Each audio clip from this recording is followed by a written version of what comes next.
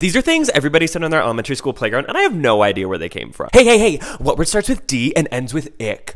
Drumstick, what were you thinking? Lemonade, crunchy ice.